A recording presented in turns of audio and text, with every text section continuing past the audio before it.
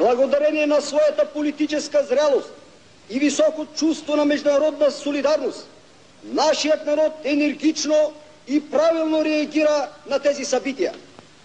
Той виде в разбойническото нападение срещу Египет и контрреволюционния бунт в Унгария пъклените замисли на империалистични сили, които се стремят да изострят международната обстановка, да разпалят нова световна война. Нашият отговор, отговорът на всички труди се в нашата страна към подпълвачите на нова война, към организаторите на контрреволюционни бунтове и фашистите погромаджии на Запад, сега е само един. Труд и бдителност, бдителност и труд.